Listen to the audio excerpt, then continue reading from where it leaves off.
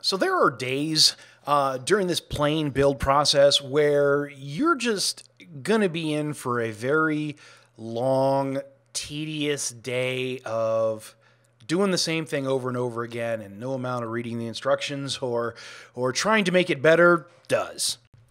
You just have to buckle down and do the work.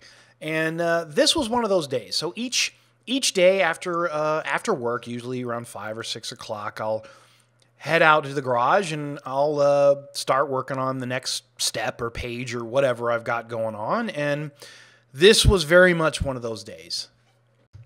So this was an entire day devoted to uh, 8-5 step 2 where you take the front spar caps and you rest them inside the front spar and you make sure they're in the right place and then you drill out all of the holes common to the two pieces and deburr all the holes common to the two pieces and then flip it around and do the other side.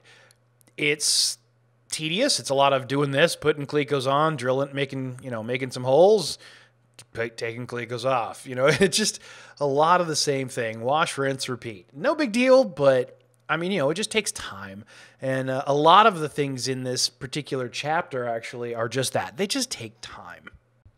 So I put on the headphones, kicked on the audiobook, and uh, went after it. Audible loves me at this point because I am spending a lot of money with them. Uh, you know, it's it's something I do to stay entertained while I'm out there. I listen to music too from time to time, but I kind of dig the audiobook thing for whatever reason. I kind of get into it, and that's what I was doing here.